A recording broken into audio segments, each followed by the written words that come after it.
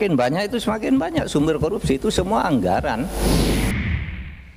Saya masih bersama pengamat politik yang menjadi dosen Sekolah Tinggi Ilmu Administrasi Lembaga Administrasi Negara Jakarta dan penulis buku berjudul Territorial Change and Conflict in Indonesia, Dr. Ratri Istania.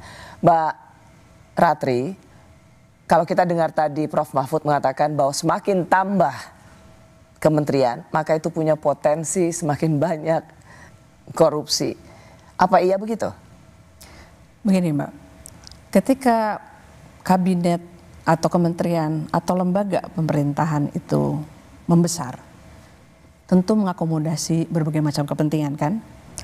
Kalau sekarang misalnya dikatakan bahwa kabinet yang akan datang itu akan lebih gemuk, itu tentu merupakan uh, logik dari siapa-siapa saja yang sudah mendukung itu akan masuk menjadi menteri-menteri mungkin. Ya, tapi pertanyaan saya, banyak.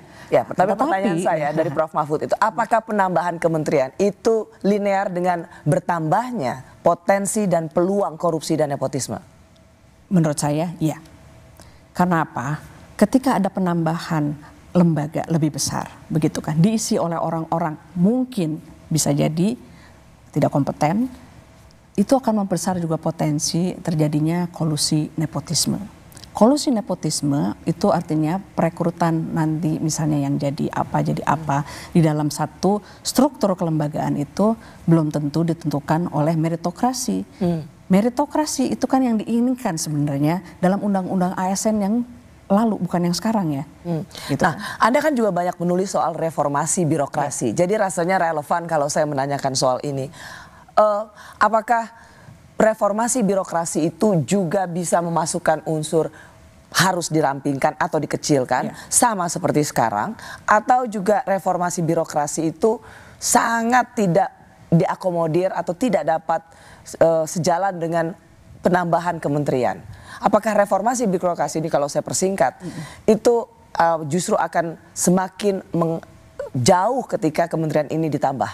Menurut saya, ya. Kalau misalnya kita melihat nafas undang-undang ASN yang kemudian memperingkas dari jumlah kelembagaan uh, kementerian misalnya, itu kan keinginan supaya birokrasi itu agile, adaptif terhadap perubahan. Akan tetapi kalau ketika diputuskan nanti akan ada perubahan lebih banyak, ongkosnya juga kan akan lebih banyak, Pak. Belum lagi kita memikirkan bagaimana nanti distribusi orang-orang yang akan menempati jabatan-jabatan yang strategik misalnya dalam kementerian. Oke, berarti ketika bicara ada satu menteri Biasa jadi ada wamen, lalu ada harus bisa, ada dirjennya, bisa. ada itu kemungkinan gemuk, menggemuk dan menggemuk, Mbak. Ah. Oke, okay, maka makanya pertanyaan saya adalah apakah semangat kita untuk reformasi birokrasi itu justru jadi terhambat ketika kemudian ada penambahan kementerian? Semangat untuk memperkecil kan untuk mempercepat pergerakan, begitu kan kebijakan cepat diimplementasikan. Akan tetapi kalau misalnya banyak gemuk, berarti kan itu kan lamban. Nah, itu yang dibilang bahwa peringkaslah persingkatlah jumlah bukan hanya kelembagaan tapi struktur yang di dalam pun dirampingkan. Jadi, karena kan berarti lebih banyak. Jadi Mbak Ratri ingin mengatakan selama ini karena Anda pemerhati birokrasi banyak menulis soal reformasi birokrasi dengan 34 lembaga kementerian saja kita masih punya urusan masih dalam PR. strukturnya. Banyak sekali. Karena masih gemuk. Betul. Apalagi ini mau ditambah lagi dalam beberapa kementerian. Ya. Pertanyaan saya tapi kenapa ya Mbak ya? Kenapa wacana bahwa penambahan kementerian itu menjadi sesuatu yang rasanya di depan mata bahwa kita bahwa Anda belum tentu setuju, banyak yang juga tidak terlalu setuju soal ini, tapi kenapa secara politik itu seperti sesuatu yang niscaya? Melihat bagaimana pola dukungan dan tidak mendukung um, presiden uh, pemilihan presiden uh, sekarang ini. Karena presiden sekarang terpilih kan banyak yang harus diakomodir. Partai-partai politik yang masuk dalam koalisi dan non koalisi yang kemudian akan masuk itu kan uh, perlu ruang. Hmm. Nah perlu ruang tersebut kan tidak bisa hanya diakomodasi di 34 yang ada sekarang ini. Mengapa menurut Mbak Ratri seorang yang terpilih 58 persen tidak hanya perlu uh, mengapa tidak cukup mengakomodasi partai-partai pendukungnya saja? Mengapa perlu untuk mengado, me, mengajak merangkul. merangkul mereka ada di luar kabinet? Apa sebenarnya siapa yang butuh siapa? Keinginan untuk memuluskan program, Mbak. Memuluskan program yang uh, sudah ada dan yang ke depan. Karena saat ini partai-partai dalam uh, di parlemen yang mendukung Prabowo Gibran itu masih uh, minor government kalau dibandingkan dengan yang di luar Prabowo Gibran.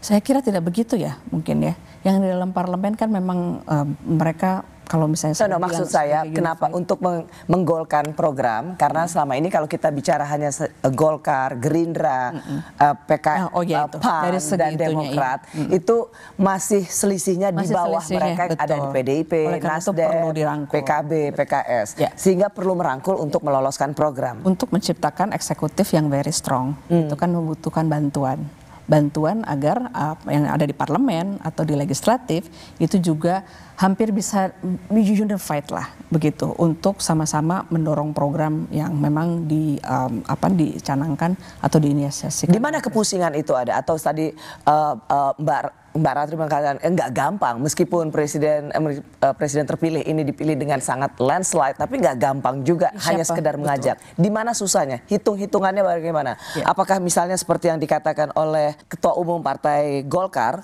yang eh, Pak Erlangga mengatakan bahwa Golkar itu mendapat 15 sampai 18 persen. Hitung-hitungannya kira-kira dalam kabinet itu kira-kira 5, 5 kursi. 5. Saya ingin mengatakan bahwa Ketua Umum Partai Golkar saja, Erlangga Hartarto, secara terbuka mengatakan kami dapat kursi sekian persen, maka kira-kira kalau dihitung ya dapat lima, lima kursi di kabinet.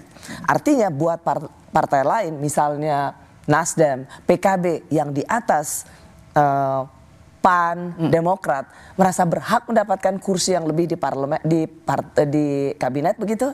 Ya, bisa diartikan begitu. Kalau kita hanya sekedar uh, menghitung berapa proporsi yang didapatkan dari perolehan suara legislatif kan. Kita sekian, itu translated into ini. Tapi kan tidak semudah itu juga ya Mbak Rosi ya.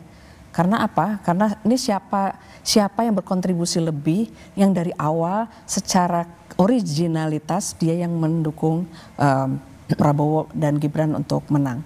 Baru kemudian nanti yang lain-lainnya.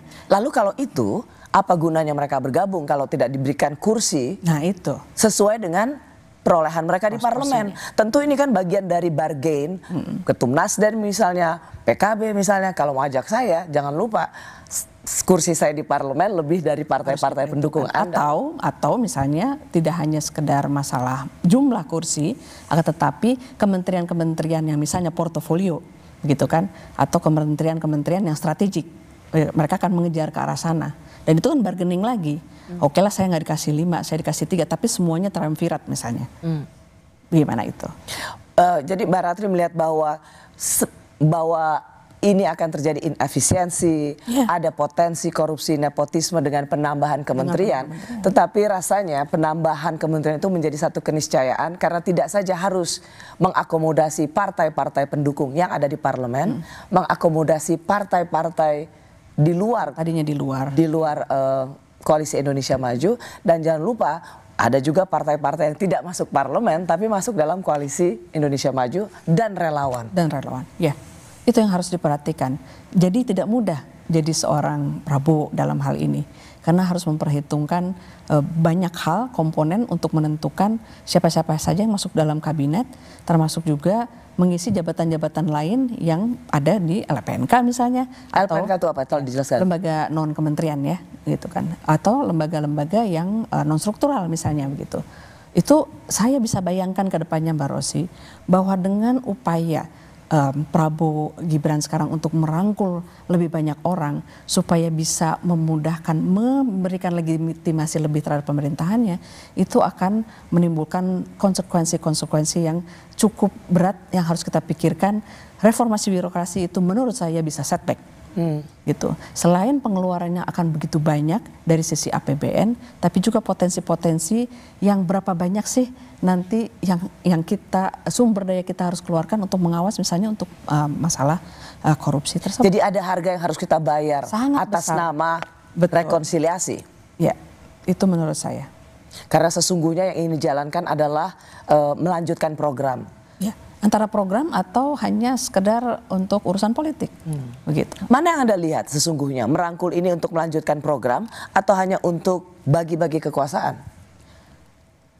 itu cukup ini ya apa namanya um, cukup harus dipertimbangkan karena dalam hal ini saya melihat sampai detik sekarang ini yang terlihat itu masih politik. Selama ini dalam masa penantian ini, hmm. kalaupun ada pen, akhirnya diputuskan ada penambahan kementerian, hmm. apakah anda melihat ini demi melanjutkan program nasional, demi Indonesia Emas 2045, atau sesungguhnya hanya sekedar bagi-bagi jabatan?